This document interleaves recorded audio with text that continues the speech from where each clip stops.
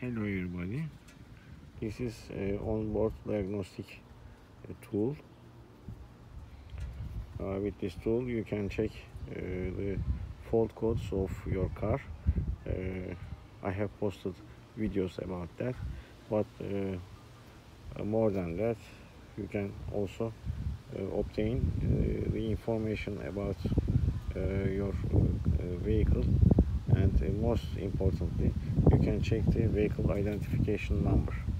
Uh, checking the vehicle identification number is uh, very important. If you are buying a second hand car uh, it should match the registration documents of the car you are buying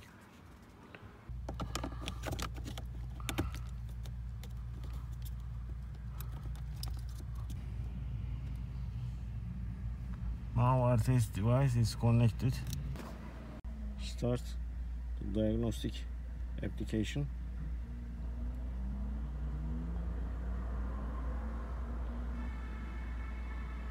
Answering yes.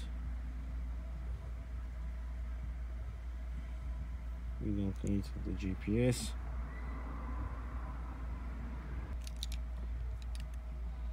It says not connected to ECU to have the car ECU connected I'm going to start the car.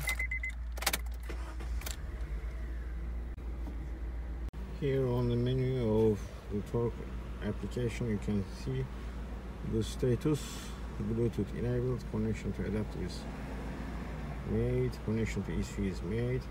Adapter error count should stay on it's made. And can all see all the information about the OBD2 device.